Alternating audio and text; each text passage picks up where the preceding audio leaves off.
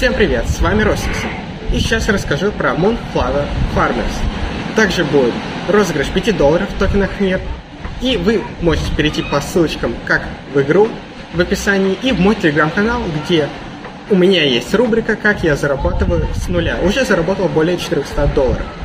Moonflower Farmers. Это браузерная игра по принципу Play to Earn. Когда в игре вы зарабатываете награды, вы получаете MFF. По мере того, как все больше людей занимается фермерством и общее приложение увеличивается, вознаграждение также уменьшается. Это означает, что тот, кто играет в самом начале игры, получит значительно большее количество вознаграждений за сбор лунного цветка по сравнению с теми, кто будет играть в будущем. Чем раньше вы начнете заниматься сельским хозяйством, тем большее вознаграждение вы получите по мере увеличения предложения. Когда предложение составляет менее 100 тысяч, фермеры получают по одному центу за сбор лунного цветка.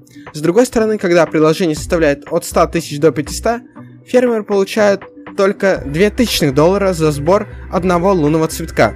Кстати, все ссылочки будут в описании, и, чтобы выиграть 5 долларов, напишите свое мнение по игре, я выберу комментарий, но нужно будет подписаться на мой телеграм-канал, где у меня там рубрика с нуля 400 долларов уже поднял, и на чат Нир Games, где все о играх на Нир и много всяких активностей.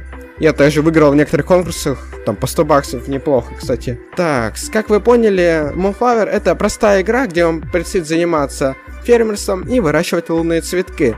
Чтобы поощрить тех, кто собирает токены Moonflower, в игре действует уникальная система распределения вознаграждения. Она стимулирует игроков строить свои фермы и инвестировать в игру. Каждые три дня вы сможете получать вознаграждение, и размер вознаграждения зависит от размера вашей фермы. Этот проект очень хорош с играми, где есть система донатов. Чтобы получить больше цветков, вам нужно улучшить свою ферму за токены, и вы начнете получать больше цветков. В свою очередь, за сбор цветков вы получите токены.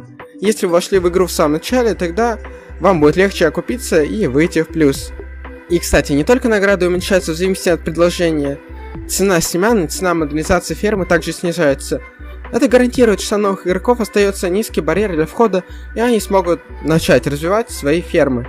Если вы владеете фермой до события уменьшения вдвое, ваша покупательная способность значительно возрастает.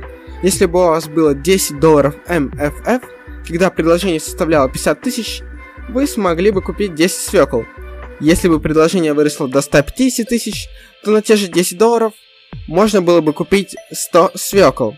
Другими словами, улучшая свою ферму, вы начинаете зарабатывать больше токенов MFF. А этот токен вы сможете продавать за реальные фиатные деньги, ну, как другие криптовалюты. Как известно всем, увеличенным фермерам спрос и предложение может быть опасными вещами. Когда цены высокие, может согласиться состояние, но когда цены низкие, можно потерять довольно много и потратить, вырастить картофель зря.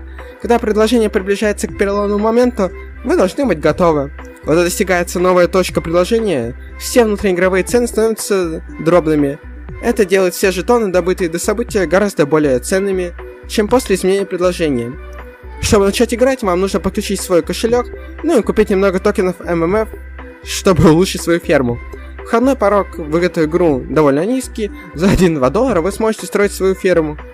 Но вы можете не окупиться, так что нужно все изучить, там посмотреть, что куда. Но игра интересная, мне понравилось, что довольно много всяких механик, даже довольно сложных. У меня могут быть некоторые ошибки, надеюсь, они были не критичными. Если что, в комментариях можете меня поправить. Всем удачи, будьте аккуратны, все ссылочки, как я говорил, в описании, кода Крустоза. Участвуйте.